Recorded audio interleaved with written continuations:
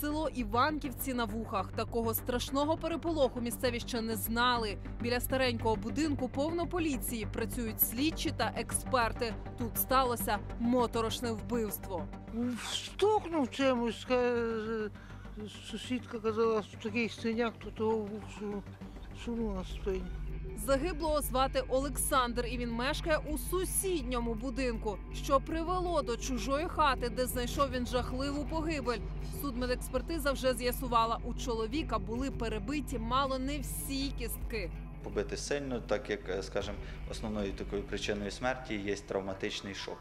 Тобто, ну, це якби велика кількість травм е, з- переломами. У будинку, де сталося вбивство, мешкає відлюдькувата парочка. Жінка купила цю хату кілька років тому. За цей час поміняла не одного чоловіка. Останній 38-річний Сергій. Ще той персонаж. Односельці трималися від нього подалі. Ну я з тими діла не мала, я, вони якісь ненадіжні. І це в них оце збіговисько вічне. Даже, даже, я кажу, я про них говорити навіть не хочу. А Саша був хороший.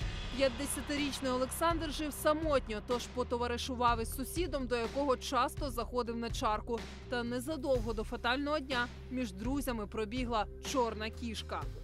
Увечері Олександр прийшов до сусідів з'ясовувати стосунки, але господар розмовляти довго не став і накинувся на чоловіка з кулаками. Побитого та непритомного він залишив його тут, на подвір'ї, а сам пішов спокійно спати. Коли вранці побачив, що сусід мертвий, заволік тіло до будинку, а сам кинувся навтьоки.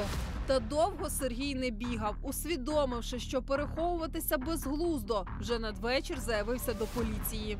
Доки працювала слідчо-оперативна група, інші працівники шукали даного е, чоловіка, який обґрунтовано підозрюється до вчинення даного злочину. Даний чоловік прийшов до Бердичського відділу поліції і зізнався, що він скоїв даний злочин. Слідство ще збирає докази вини Сергія і проситиме суд взяти його під варту. Чоловік вже має погашену судимість. За це вбивство молодик може знову загриміти за грати аж на 15 років. Хіба що Феміда зважить на щиросердне зізнання і присудить йому менший термін.